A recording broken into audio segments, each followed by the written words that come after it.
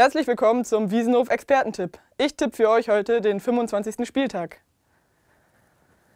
So, Dortmund macht einen 2 zu 1 Heimsieg gegen die Hertha.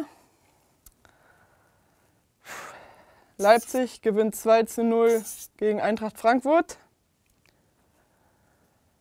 Bayer Leverkusen gewinnt zu Hause 3 zu 1 gegen die Arminia aus Bielefeld. Wolfsburg schafft ebenfalls einen Heimsieg mit 2 zu 0 gegen Schalke 04.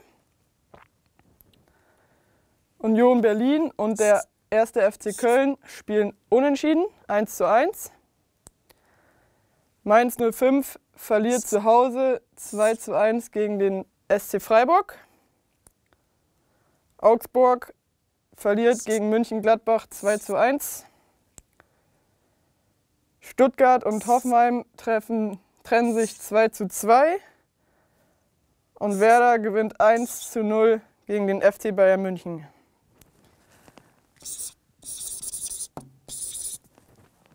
So, und jetzt seid ihr dran.